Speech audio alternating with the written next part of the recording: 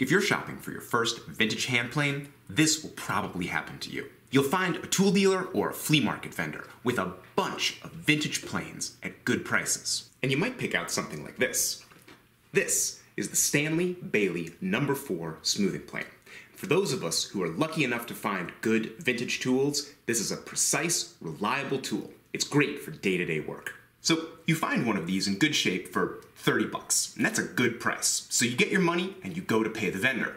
But right when you walk up to him, he says to you, oh, that's a great plane you've picked out there. But you know, I've got a couple of bedrocks. And you do not know what the hell he is talking about. But bedrock sounds good and you don't want to look stupid. So you say to him, oh, yes, bedrocks. I'll take a look at one of those. And he hands you this. And you think to yourself, oh my, it's certainly a plane. It's got flat sides. I don't know, it looks a lot like the other one. But the way the vendor made it sound, bedrock, like it was just the best thing ever, you think, well, I do want to buy a good tool, so maybe I'll just get this one instead. So you say to the vendor, yeah, I guess I'll get this one. How much? And he looks you dead in the eye and he says, that plane is $180. And as soon as you finish having a complete heart attack at the price, you might look at that plane and think, $180 for what?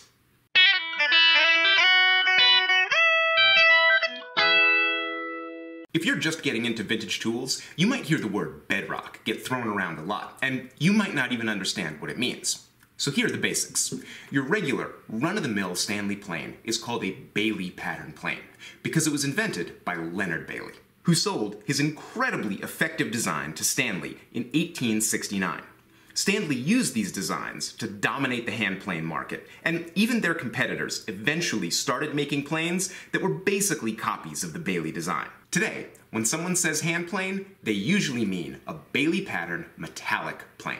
But around 1902, Stanley wanted to offer a more premium line of planes that would be more expensive and aimed at craftsmen with more money. So they introduced the Bedrock line. These didn't replace the Bailey line, they were the next step up. On the outside, these two designs look very similar. The Bedrock just has these flat sides. We have to go inside the plane to really see the difference.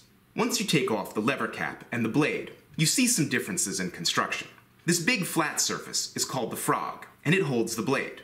On the original Bailey, this frog is just screwed into the plane body with two screws. You can see some small flat spots milled into the body, and there are matching surfaces milled into the bottom of the frog. The frog and the body have a sturdy connection, but the actual points of contact are pretty small. The bedrock plane doesn't have screws. It has these two pins, and you unscrew the frog from behind. Those back screws have points at the end. When I look at the pins that hold the frog, they have little holes in them, which fit those points. The pointed screw comes in and engages with the hole in the pin. As the screw is tightened, that pin is pulled down and the frog is seated really tightly against the bed of the plane. Where the frog actually mounts to the bed of the plane, that's where we see the real differences in bedrock construction. On the bedrock, the base of the frog is a huge, flat surface. The bed of the plane has another flat surface and little rails on the sides that hold the frog perfectly straight. The frog fits exactly to the plane body, and it can't twist side to side at all. The connection is rock solid. Stanley made this change to get a better fit between the parts of their planes, but also to give their flagship Bedrock planes an easily adjustable mouth. The plane's mouth isn't just the opening in the bottom of the plane. It's the distance between the edge of the blade and the front of that opening. The mouth controls how thick a shaving you can take, and when the mouth is very tight, it presses down on the wood in front of the blade and prevents tear out. If you're working on very difficult wood and getting a rough surface, setting your plane with a fine mouth and a light cut can solve that problem. I've got both the planes here, and the bedrock is on top. You can see that they both come from the factory with a pretty fine mouth, but both of them also allow that mouth to be tightened up. For the standard Bailey plane, adjusting the mouth is a bit of a process. You take off the lever cap and the blade assembly to expose the frog screws. Then you loosen those screws a bit and use the frog adjustment screw at the back to slide the frog forward a bit. Then you reassemble the plane, which takes a little fiddling around. This can take a little trial and error. I moved my frog too far forward and the iron won't come out of the mouth. After I took the plane apart and adjusted it a second time, I got a very tight mouth.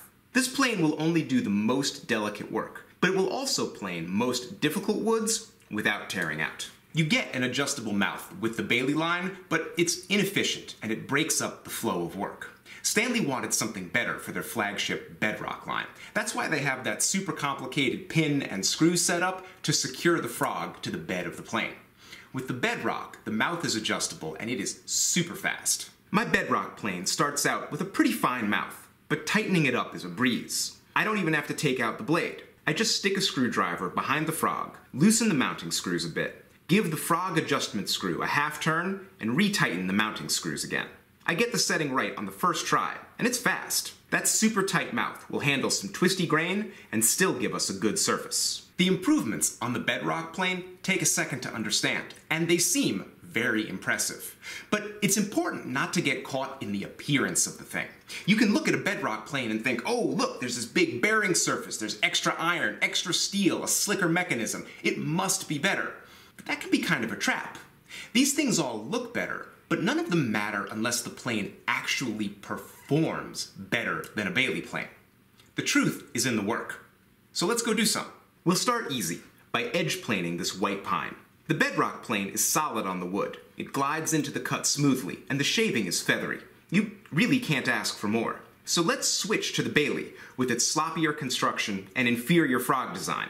And it's, honestly, it's kind of exactly the same. Same shaving, same surface, same effort. I can switch back and forth between the two planes all day, and I hardly notice the difference. But edge planing white pine? Come on, that's kid stuff.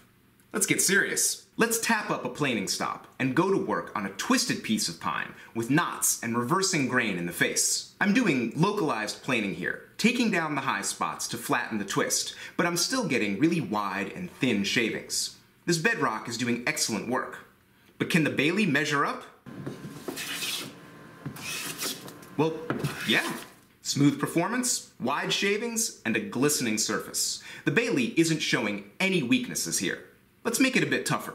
I picked this cherry offcut because it has a knot and reversing grain on both sides, and a rough edge. This should be a real test. I set the bedrock for a heavy cut to take off those saw marks, and it slices right through the wood. No trouble.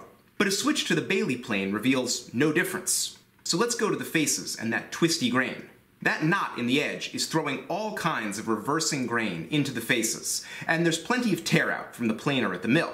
This is a real world problem board. If I can plane it, I can use it in a piece. If not, it goes into the burn pile. The Bailey gets first crack at the job.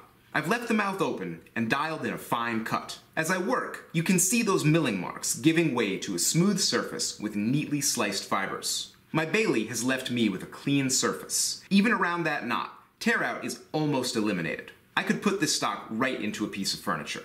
The flip side has just as much nasty grain and some sapwood too. We'll give the bedrock a crack at this. And, you know, it's kind of the same. The plane glides nicely and the shavings fly out. The surface is just as good, and there's no tear out to get worried over. This test is a tie. But these are still sort of laboratory tests. We need to bring these planes into a more real world environment. And that's no problem. I've been finishing up this kitchen cupboard, and now I'm ready to attach the trim, get everything trimmed and straightened, and get it prepped for final finishing. This is the perfect test for these two planes. I'll use them all day long. First thing is to trim this face frame. My handy Ryoba saw handles the flush cut, but the final trimming is all hand plane. The pieces meet at right angles, and the cut is demanding because it transitions from squishy end grain to long side grain. I skew my Bailey plane for a slicing cut, and it handles both surfaces just fine. I switch to my bedrock, and the results are the same. Both surfaces are quickly trimmed. No crushed fibers on the end grain, and that frame is level with the case. Next, my top board is a bit bowed, and that's going to make adding trim really tough. I want to set both my planes for a coarse cut and take off material fast. Both these smoothing planes are pretty fine tools, but they'll take a heavier cut too. When the work is too fine to reach for a scrub plane, a heavy set smoother might be just the thing. Now, without even sharpening, let's go for the exact opposite task. I need these cabinet doors prepped for finishing, and I don't want to do any sanding. Let's make this a pure, hand-plane finish, and try for absolute perfection on the surface. I set the bedrock for a heavier cut to take care of some unevenness around the glue joint, and then I can back the iron way off for a light finishing cut. This planing goes very fast, and after I've gone back and forth twice, I'm done. You can't argue with a finish-ready surface like this. But can the Bailey compete? Hell yes it can. Honestly, if you blindfolded me, I wouldn't even know which plane I was using.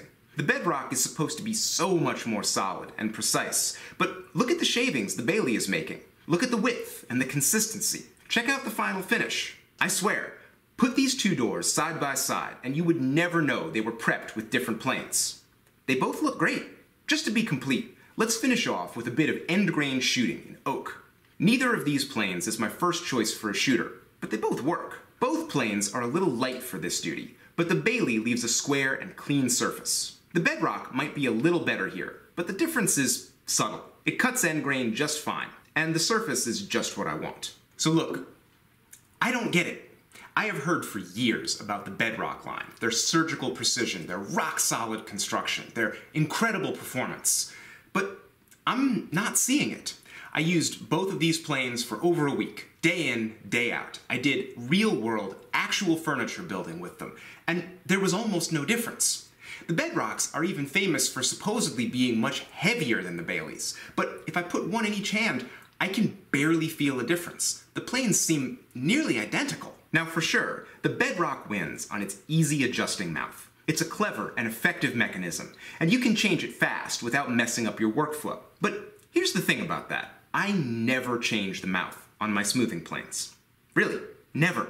All good Stanley planes come with a pretty fine mouth to begin with. All these shots are me planing with the mouth open, like it comes from the factory, and I get very little tear out when I'm working. If I do get a little tear out, I usually just use a scraper. You might work with trickier woods than I do, but I'd rather have a plane with a medium tight mouth and just leave it alone. Now, I'm not saying the bedrock planes aren't any better, but the cult following they have among woodworkers and tool collectors does seem a little weird to me especially if you know a little bit of history. Stanley introduced the Bedrock line around 1903, but these planes were out of production by World War II. Meanwhile, the Bailey line soldiered on all the way up through the 60s and 70s. Now, there are a couple different explanations for why the Bedrock series went out. A lot of people said, well, by that point in the century, coming up to the war, we had a lot more machine production, less handwork, and there was just less demand for ultra high quality premium tools like this. That's one explanation. Another explanation could be that craftsmen just actually weren't really impressed by the bedrock line, especially people who had already been using Bailey style planes for decades. These planes were still going strong and didn't really have any shortcomings. If you were a craftsman like that and you picked up one of these at a higher price, it might have been very difficult to justify. You might have been unimpressed and just not ever picked one up. This brings us to the question of why these planes are so valuable today. I don't think it's because they're so much better than the Bailey planes. I think it's because they're so rare. When you've got a bunch of collectors all coming in to buy up vintage tools, well, the things that are the most rare are automatically going to become the most valuable. Bedrock planes were produced for a short period of time and discontinued way before the Bailey line was, so there's a lot fewer of them around and that's going to drive up prices a lot. But after having used this plane and compared it to a good quality Bailey, I just don't think the increase in price is justified. This plane's better. That adjustable mouth, the super solid construction, I can feel a difference. I would call this plane 10% better than a Bailey. And if you had the two planes side by side, I would gladly pay 20 or 30% more for this plane. But when I bought my Bailey, I got it at a flea market for 25 bucks, in good shape. I had to go to a tool dealer to get this bedrock, and with shipping, this thing cost me $155. Do I think this plane is justified in commanding six times more money than my Bailey? Hell no! Ladies and gentlemen, let us leave these things to the collectors and the cork sniffers. We've got woodwork to do and we can do it just fine with a plain old Bailey style plane. And listen, if you enjoy history and tool collecting and stuff like that, I super strongly recommend Garrett Hack's book, the hand plane book. It is by far the best book I have ever read about tools, and I have a lot of books about tools. Hack is a professional cabinet maker. He's extremely knowledgeable. He goes over hundreds of different models, and the photography in this book is unbelievable. This is truly tool porn. And unlike a lot of woodworking books, this one is available in paperback, so it's actually not that expensive. I will link to it down in the description. Just like always, this video is brought to you by my patrons on Patreon. My patrons make it possible for me to do a deep dive into a subject like the differences between different kinds of tools, do a thorough review, and bring you the straight dope for absolutely free. It's not free for me to make these videos, and it's not free for them. They give me a little bit of money every month, and that helps me bring this content to you. And in exchange, I give them all sorts of perks and extras. If you'd like to find out about that stuff, go on over to patreon.com slash rexkrueger and check out the early access, the discussion board, articles, tool reviews, and other stuff I do, only for the people who keep this content alive. I've really enjoyed making this video, and if you want to see more of them, let me know down in the comments, and I can go into more detail about fun, interesting vintage tools. No matter what I do, I really appreciate you watching this video. See you next week.